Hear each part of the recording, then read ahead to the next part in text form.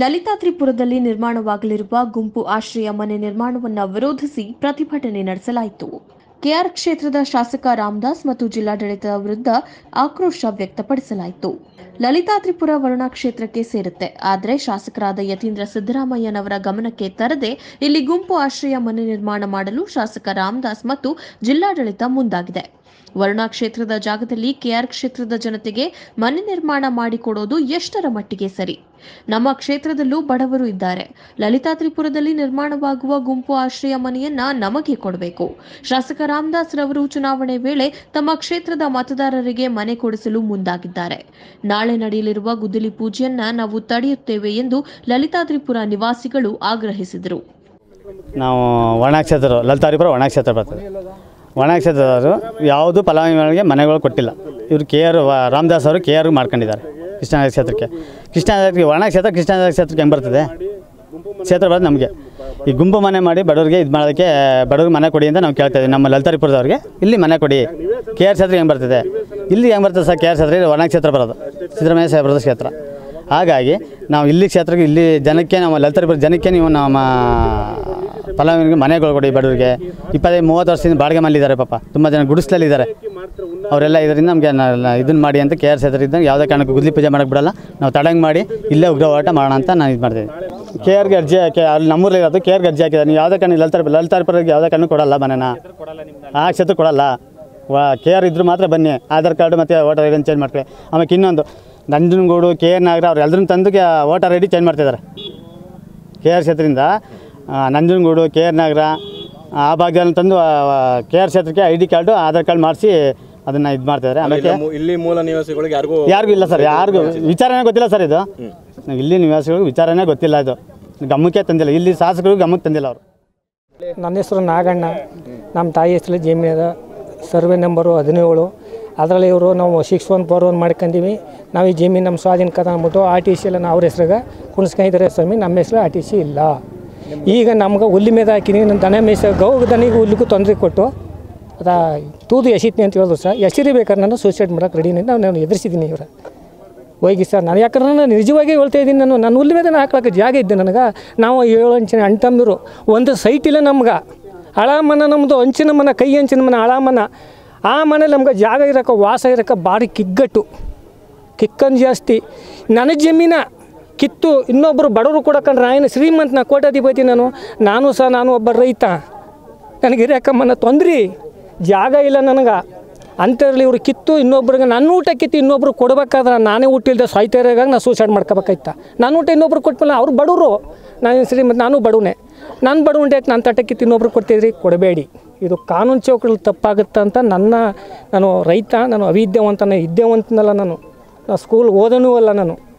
ದನ ಮೇಯಿಸ್ಕೊಂಡು ನಾನು ಎಮ್ಮ ದನ ಮೇಯಿಸ್ಕೊಂಡು ನಾನು ಬೆಳೆದಿರವ ನಾನು. ಇವತ್ತು ನನಗೆ ಪ್ರಪಂಚದ ವಾತಾವರಣ ಗೊತ್ತಿರಲ್ಲ ಅಂದರೆ ನಾನು ಜಿಮ್ಮಿನೆಲ್ಲ ಜೀವನ ಮಾಡ್ತಿದ್ದು. ಇವತ್ತು ನಂದು ಒಂದು ಎಕರೆ ಮೂವತ್ತು ಕುಂಟ ನಮ್ಮ ತಾಯಿ ಹೆಸರು ಚಿನ್ನಮ್ಮನ ಹೆಸರು ಅದ. ಇವತ್ತು ಭೂ ಸ್ವಾಧೀನ ಮಾಡೀವಿ ನಿಮ್ಗೇನು ಹಾಕಿಲ್ಲ ನಿಮ್ಗೆ ಪೇಮೆಂಟ್ ಹಾಕಿನಿ ಎರಡೂವರೆ ಲಕ್ಷ ಹಂಗೆ ತಕ್ಕಳಿ ಅಂತಂದ್ರು ಸ್ವಾಮಿ. ನಾನು ತಕ್ಕಳಕ್ಕೆ ಹೋಗಿಲ್ಲ ನಾನು ರೆಕಾರ್ಡ್ ಕೊಟ್ಟಿಲ್ಲ. ನಾನು ಯಾವುದೇ ಕಲ್ಕೊ ಪೇಮೆಂಟ್ ಮಾಡಿಲ್ಲ ನಾನು ಜಿಮ್ಮಿನ ಬಿಟ್ಕೊಡಿ. ನಾವು ಅಣ್ಣ ಸೈಟ್ ಹಂಚಿಕೋಬೇಕಲ್ಲ ನಾವು. ನಾವು ಎಲ್ಲೂ ವಾಸಿ ಇರೋದು ನಾನು ನಾವು ಮನೆ ಮಾಡಿದಾಗ ಯಾರು ನಮ್ಮ ಅಮ್ಮ ಮಕ್ಕ ಮರಿ ಎಲ್ಲಿಗೆ ಹೋಗ್ತಾರೆ? ಅವ್ರ ಜೀವನ ಎಲ್ಲಿ ಸಾಕ್ತಾರೆ? ಇನ್ನೊಬ್ಬರು ಜಗಲಿ ಮೇಲೆ ಹೋಗಿ ಸಾಕ್ತಾರೆ. ನಾವು ಬಾಡಿಗೆ ಕಟ್ಟಕ್ಕೆ ನಾವೆಲ್ಲ ಕಳ್ಕೊಂಡ ಮೇಲೆ ನಾವೇನು ಮಾಡಬೇಕು? ಗಾರ ಹೊರಬೇಕು. ಗಾರ ಹೊರಕ್ಕೆ ನನಗೆ ಆಗದೇ ಇದೆ ಈ ವಯಸ್ಸಲ್ಲಿ ನಾನು. ಇವತ್ತು ನಾನು ಈ ಜಮೀನಿಗಾಗಿ ನಾನು ಇಷ್ಟು ವಯಸ್ಸಾಗಿ ನಾನು ಈ ಥರಕ್ಕಾಗ ಕುಂತಿರೋದು ನಾನು ತೊಂದರೆಯಿಂದ ಕುಂತಿರೋದು ನಾನು. ಯಾಕೆ ತೊಂದರೆ ಕೊಡ್ತೀರಿ ಸ್ವಾಮಿ ನಾನು ಬಡವನಿಗೆ? ನನ್ನ ತಟ್ಟಕ್ಕೆ ಇನ್ನೊಬ್ರು ಕೊಡಬೇಡಿ. ನನ್ನನ್ನಕ್ಕೆ ಇನ್ನೊಬ್ರು ಕೊಡಬೇಡಿ. ಅವರು ಬಡವರು ಅಂತಾರೆ ನಾನು ಬಡವನೇ. ಇದೇ ಸಂದರ್ಭದಲ್ಲಿ ಪ್ರತಿಭಟನಾ ಸ್ಥಳಕ್ಕೆ ಭೇಟಿ ನೀಡಿ ಮಾತನಾಡಿದ ಶಾಸಕ ಯತೀಂದ್ರ ಸಿದ್ದರಾಮಯ್ಯನವರು ಲಲಿತಾದ್ರಿಪುರ ವರುಣಾ ಕ್ಷೇತ್ರಕ್ಕೆ ಸೇರುತ್ತೆ. ಆದರೆ ನಮ್ಮ ಗಮನಕ್ಕೆ ತರದೆ ಇಲ್ಲಿ ಗುಂಪು ಆಶ್ರಯ ಮನೆ ನಿರ್ಮಾಣ ಮಾಡಲು ಶಾಸಕ ರಾಮದಾಸ್ ಮತ್ತು ಜಿಲ್ಲಾಡಳಿತ ಮುಂದಾಗಿದೆ. ವರುಣಾ ಕ್ಷೇತ್ರದ ಜಾಗದಲ್ಲಿ ಕೆಆರ್ ಕ್ಷೇತ್ರದ ಜನತೆಗೆ ಮನೆ ನಿರ್ಮಾಣ ಮಾಡಿಕೊಡೋದು ಎಷ್ಟರ ಮಟ್ಟಿಗೆ ಸರಿ? ಇಲ್ಲಿನ ಜನತೆಗೆ ನ್ಯಾಯ ಒದಗಿಸಿ ನಂತರ ಕಾರ್ಯ ಕೈಗೊಂಡ್ರೆ ಒಳ್ಳೆಯದು, ಎಂದರು. ವ್ಯಾಪ್ತಿಯಲ್ಲಿ ಬರುವಂತಹ ಲಲಿತಾದ್ರಿಪುರ ಗ್ರಾಮದಲ್ಲಿ ಸರ್ವೆ ನಂಬರ್ ಹದಿನೈದು, ಹದಿನಾರು, ಹದಿನೇಳು, ಹದಿನೆಂಟರಲ್ಲಿ ಸುಮಾರು ಹದಿಮೂರು ಎಕರೆ, ಐದು ಗುಂಟೆನಲ್ಲಿ ಒಂದು ಹೌಸಿಂಗ್ ಪ್ರಾಜೆಕ್ಟನ್ನು ಮಾಡ್ತಿದ್ದಾರೆ ಕೃಷ್ಣರಾಜ ಕ್ಷೇತ್ರದ ಜನತೆಗೋಸ್ಕರ. ಇದು ಎರಡು ಸಾವಿರದ ಹದಿನೆಂಟರಲ್ಲೇ ಸರ್ಕಾರದ ಮುಂದೆ ಈ ಪ್ರಸ್ತಾಪ ಹೋಗಿತ್ತು. ಕೆ ಆರ್ ಕ್ಷೇತ್ರದ ಜನಕ್ಕೆ ಹೌಸಿಂಗ್ ಪ್ರಾಜೆಕ್ಟ್ ಮಾಡಿಕೊಡ್ಬೇಕು ಅಂತ ಹೇಳಿ. ಬಟ್ ನಮ್ಮ ತಕರಾರು ಏನಪ್ಪ ಅಂತಂತ ಇದು ವರ್ಣಾ ಕ್ಷೇತ್ರದ ವ್ಯಾಪ್ತಿಲಿ ಬರುತ್ತೆ. ಮತ್ತು ಈ ಏನು ಸರ್ವೆ ನಂಬರ್ಗೆ ಹೇಳಿದ್ರೆ ಆ ಪೈಕಿ ಸರ್ವೆ ನಂಬರ್ ಹದಿನೆಂಟರಲ್ಲಿ ಸುಮಾರು ಎರಡು ಎಕರೆ ಜಾಗದಲ್ಲಿ ಈಗಾಗಲೇ ಲಲಿತಾದ್ರಿಪುರದ ಜನಕ್ಕೆ ಹಕ್ಕುಪತ್ರಗಳನ್ನು ಕೊಟ್ಟಿದ್ದು ಕೆಲವರು ಅದರೊಳಗಾಗಲೇ ಮನೆಯನ್ನು ಕೂಡ ಕಟ್ಕೊಂಡಿದ್ದಾರೆ. ಅವ್ರ ಹತ್ರ ಹಕ್ಕುಪತ್ರ ಇರೋದ್ರಿಂದ ಮತ್ತು ಅವ್ರ ಕಂದಾಯ ಕೂಡ ಕಟ್, ಕಟ್ತಿರೋದ್ರಿಂದ ಈ ಜಾಗ ಅವ್ರಿಗೆ ಸೇರಬೇಕು ಅಂತೇಳಿ ಲಲಿತಾ, ಲಲಿತಾದ್ರಿಪುರ ಗ್ರಾಮದ ಜನರು ಕೋರ್ಟಿನ ಮೊರೆ ಕೂಡ ಹೋಗಿದ್ದಾರೆ. ಕೋರ್ಟ್ನಲ್ಲಿ ಅವ್ರ ಫೇವರ್ ಆಗಿ ಸ್ಟೇ ಆರ್ಡರ್ ಕೂಡ ಬಂದಿತ್ತು.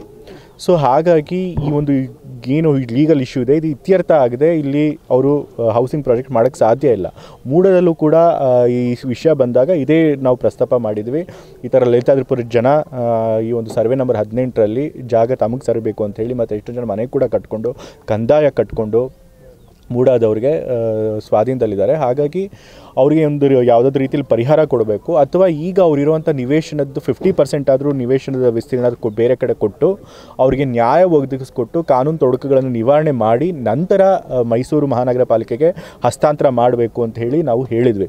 ಕೆ ಆರ್ ಕ್ಷೇತ್ರದ ಜನರದಗಳಿಗೆ ಮಾತ್ರ ಅಪ್ಲಿಕೇಶನ್ ಕಾಲ್ ಫರ್ ಮಾಡಿ, ಆನ್ಲೈನ್ ಅಪ್ಲಿಕೇಶನ್ ಕಾಲ್ ಫರ್ ಮಾಡಿ ಆ ಕ್ಷೇತ್ರದ ಫಲಾನುಭವಿಗಳನ್ನು ಮಾತ್ರ ಆಯ್ಕೆ ಮಾಡಿ ಇವತ್ತು ಅವರಿಗೆ ಹೌಸಿಂಗ್ ಪ್ರಾಜೆಕ್ಟ್ ಮಾಡಿಕೊಟ್ಟಿದ್ದಾರೆ. ಅದರಿಂದ ವರ್ಣಾ ಕ್ಷೇತ್ರದ ಜನರಿಗೆ ಅನ್ಯಾಯ ಆಗುತ್ತೆ. ಇದು ಎರಡನೇ ಪಾಯಿಂಟು ಮೂರನೇದು ಇನ್ನೂ ಹಸ್ತಾಂತರನೇ ಆಗಿಲ್ಲ. ಅಧಿಕೃತವಾಗಿ ನನ್ನ ಪ್ರಕಾರ ಮೈಸೂರು ಮಹಾನಗರ ಪಾಲಿಕೆಗೆ. ಆದರೂ ಕೂಡ ಆತರ ಆತರವಾಗಿ ಟೆಂಡರ್ ಕರೆದು ಇವರು ಸು ನೂರ ಅರವತ್ತ್ಮೂರು ಕೋಟಿ ವೆಚ್ಚದ ಪ್ರಾಜೆಕ್ಟ್ನ ಆತರ ಆತರವಾಗಿ ಈ ಜನರಿಗದ ಏನು ಅಭಿಪ್ರಾಯ ಇದೆ ಅದನ್ನಕ್ಕೆ ವಿರುದ್ಧವಾಗಿ ಅವರು ಟೆಂಡರ್ ಕರೆದು ಅದನ್ನು ಪ್ರಾಜೆಕ್ಟ್ ಮುಗಿಸುವಂಥ ಕೆಲಸ ಮಾಡ್ತಾರೆ. ಮತ್ತು ಅದಕ್ಕೆ ಗುದ್ಲಿ ಪೂಜೆನೂ ಮಾಡಿಕೊಟ್ಟಿದ್ದಾರೆ ಇಷ್ಟು ದೊಡ್ಡ ಮೊತ್ತದ ಒಂದು ವೆಚ್ಚದ ಪ್ರಾಜೆಕ್ಟ್ ನಮ್ಮ ಕ್ಷೇತ್ರದಲ್ಲಿ ಆಗ್ತಿದ್ರು ಕೂಡ, ನಾನು ಈಗಾಗಲೇ ಪತ್ರ ಬರೆದಿದ್ರು ಕೂಡ, ಇಷ್ಟೆಲ್ಲ ತೊಡಕುಗಳಿವೆ. ಹಾಗಾಗಿ ಈ ಪ್ರಾಜೆಕ್ಟ್ನ ವಿತ್ಹೋಲ್ಡ್ ಮಾಡಿ, ಇದನ್ನೆಲ್ಲ ನಿವಾರಣೆ ಮಾಡಿ ನಂತರ ಟೆಂಡರ್ ಕರೀರಿ ಅಂತ ಹೇಳಿ ನಾನು ಪತ್ರಗಳನ್ನು ಬರೆದಿದ್ದೀನಿ. ಹೌಸಿಂಗ್ ಸೆಕ್ರೆಟರಿ ಸೆಕ್ರೆಟರಿ ಬರೆದಿದ್ದೀನಿ. ಮತ್ತು ರಾಜೀವ್ ರಾಜೀವ್ ಗಾಂಧಿ ನಿಗಮದ ಅಧ್ಯಕ್ಷರಿಗೆ ಬರೆದಿದ್ದಾನೆ. ಮತ್ತು ಮೈಸೂರು ಮಹಾನಗರ ಪಾಲಿಕೆ ಕಮಿಷನರ್ಗೂ ಕೂಡ ಪತ್ರ ಬರೆದಿದ್ದೀನಿ. ಪತ್ರ ಬರೆದಿದ್ರೂ ಕೂಡ ನನಗೆ ತಿಳಿಸ್ದೇ ಟೆಂಡರ್ ಪ್ರಕ್ರಿಯೆಯನ್ನು ಮುಂದುವರಿಸ್ಕೊಂಡು ಇವತ್ತು ಈಗಾಗಲೇ ಗುದ್ಲಿ ಪೂಜೆ ನಂಗೆ ತಿಳಿದಂಗೆ ತಿಳಿದಂಗೆ ಇಲ್ಲಿ ಸ್ಥಳೀಯ ಶಾಸಕರು ಕೂಡ ತಿಳಿಸ್ದ ಹಾಗೆ ನಾಳೆ ಗುದ್ಲಿ ಪೂಜೆ ಮಾಡ್ಕೊಳ್ಳೋಕ್ಕೆ ಹೊರಟಿದ್ದಾರೆ. ಇದು ಪ್ರೋಟೋಕಾಲ್ ವೈಲೇಷನ್ ಕೂಡ ಆಗುತ್ತೆ. ಸೊ ಇಷ್ಟೆಲ್ಲ ಇವರು ಆತರ ಆತರವಾಗಿ ಟೆಂಡರ್ ಪ್ರಕ್ರಿಯೆ ಮಾಡ್ತಿರೋದು ನೋಡಿದ್ರೆ ಎಲ್ಲೋ ಒಂದು ಕಡೆ ಇಷ್ಟು ದೊಡ್ಡದ ಮಟ್ಟದ ಪ್ರಾಜೆಕ್ಟ್ನಲ್ಲಿ ಏನೋ ಒಂದು ಅವ್ಯವಹಾರ ನಡೆದಿರಬಹುದು ಅಂತ ಹೇಳಿ ಸಣ್ಣ ಶಂಕೆ ಕೂಡ ನನಗೆ ಬರ್ತಾ ಇದೆ. ಹಾಗಾಗಿ ಈ ಪ್ರಾಜೆಕ್ಟ್ನ ಈಗಲೇ ನಿಲ್ಲಿಸಬೇಕು. ನಮ್ಮ ಸ್ಥಳೀಯ ಶಾಸಕರ ನನ್ನ, ನನಗೆ ಸ್ಥಳೀಯ ಶಾಸಕನಾಗಿರೋ ನನ್ನ ಗಮನಕ್ಕೆ ತರದೆ ಇಲ್ಲಿ ಗುದ್ಲಿ ಪೂಜೆ ಮಾಡ್ತಿರೋದು, ಮತ್ತು ಇಲ್ಲಿನ ಜನರ ಹಕ್ಕುಗಳೇನಿದೆ, ಈಗಾಗಲೇ ಈ ಭೂಮಿಗೆ ಅವರು ತಮ್ಮ ಹಕ್ಕಿಗೋಸ್ಕರ ಕೋರ್ಟ್ಗೆ ಹೋಗಿದ್ದಾರೆ. ಅವರ ಒಂದು ವ್ಯಾಜ್ಯನೂ ಕೂಡ ಇತ್ಯರ್ಥ ಮಾಡ್ದೇನೆ. ಮತ್ತು ನಮ್ಮ ವರ್ಣಾ ಕ್ಷೇತ್ರದ ಜನ ಫಲಾನುಭವಿಗಳನ್ನು ಕೂಡ ಅದರೊಳಗೆ ಸೇರಿಸ್ಕೊಳ್ಳದೆ ಈ ಪ್ರಾಜೆಕ್ಟ್, ಹೌಸಿಂಗ್ ಪ್ರಾಜೆಕ್ಟ್ ಮಾಡ್ತಿರೋ ತಪ್ಪು. ಹಾಗಾಗಿ ಇದನ್ನು ನಿಲ್ಲಿಸಬೇಕು ಅಂತೇಳಿ ಇವತ್ತು ನಮ್ಮ ಕಾಂಗ್ರೆಸ್ ಪಕ್ಷದ ವತಿಯಿಂದ ನಾವು ಇಲ್ಲಿ ಪ್ರತಿಭಟನೆ ಹಮ್ಮಿಕೊಂಡಿದ್ದೇವೆ. ಆ ಪ್ರತಿಭಟನೆಯಲ್ಲಿ ನಾನು ಕೂಡ ಇವತ್ತು ಇಲ್ಲಿಗೆ ಭಾಗಿಯಾಗಿ ಬಂದಿದ್ದೇನೆ.